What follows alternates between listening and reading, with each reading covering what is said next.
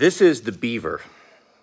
My son Jack and I, from the time he was little, have been hiding this tit for tat in each other's stuff. You'll find it just in the most random places. He'll put it in my boot. I'll put it in his jacket. He's getting ready to go off on his first fire. He's got his red bag packed. I'm gonna have my ultimate revenge. Sleeping bag or, might, that might oh, fall.